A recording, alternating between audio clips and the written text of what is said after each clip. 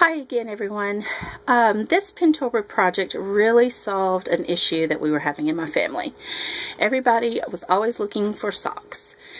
We had a laundry basket that we called the sock basket and no one ever knew where, where it was and everybody was always looking for it. So I saw this on Pinterest and I thought this was a wonderful idea. This is in my laundry room. These are two baskets from the Dollar Tree and the pin suggested using S-hooks. The day I was at the Dollar Tree, they did not have any, so I got these these hooks. I don't know what they're called, but um, they work great. This is um, something that the family always uses. So, sorry, I was interrupted. Um, these are my dark colored socks. These are, of course, my light colored socks. Then everybody knows where all the socks are. When I finish laundry, I just stick them in there.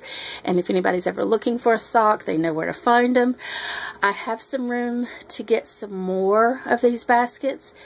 And I think I may do that for um, dish towels, dish rags, things like that.